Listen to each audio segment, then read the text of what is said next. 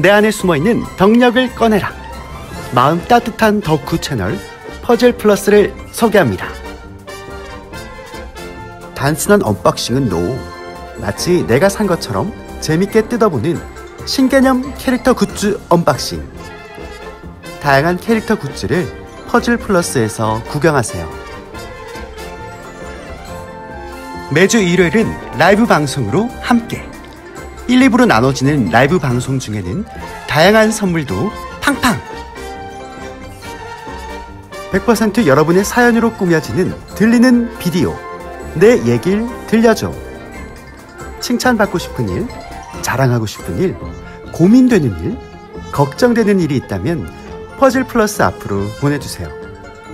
정성스러운 손편지와 함께 소정의 선물도 드리는 시간. 내 얘길 들려줘. 마음 따뜻한 덕후 퍼즐 플러스와 함께 오늘도 행복하세요. You can puzzle, let's puzzle.